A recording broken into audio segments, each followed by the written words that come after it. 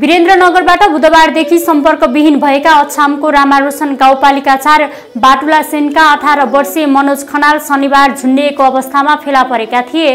वीरेन्द्रनगर नगरपालिका चारको पर्यटकीय स्थल शहीद पार्कको गेट नजिकै उनी मृत फेला परेका हुन्। उनको हत्या गरिएको हो वा आफैले आत्महत्या गरेका हुन् भन्ने विषयमा अहिले प्रहरीले अनुसन्धान गरिरहेको छ तर उनको पाकेटमा भने प्रहरीले सुसाइड नोट फेला पारेको छ।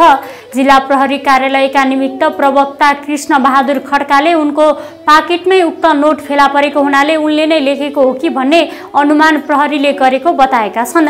यद्यपि उक्त नोटबारे पनि अनुसन्धान भइरहेको छ। प्रहरीका अनुसार ती किशोर वीरेन्द्रनगर स्थित साउथ एसियन बोर्डिङ स्कुलमा कक्षा एघारमा अध्ययनरत थिए। बुधबार दिउँसो तिन बजेतिर बजार जान्छु भनी रुमबाट निस्किएका उनी सम्पर्कविहीन भएका थिए। सुसाइड नोटमा उनले आफ्ना आमा बुबालाई सम्बोधन गरेका छन् भने वर्तमान गृहमन्त्री रवि लामिछानेलाई पनि सम्बोधन गरेका छन्। लामिछानेलाई आफ्नो परिवारलाई सान्त्वना दिन भन्दै आग्रह गरिएको छ नोटमा। साथै उनको भाइको इच्छा पुरा गरिदिन आग्रह गरेका छन्। साथै लामिछानेलाई चौरासी सालमा प्रधानमन्त्री हेर्न मन भएको तर नपाएको पनि उल्लेख गरेका छन्। परिवारको अवस्था निकै नाजुक रहेको र त्यसैमाथि आफू मानसिक रोगको शिकार भएको उक्त नोटमा लेखिएको छ।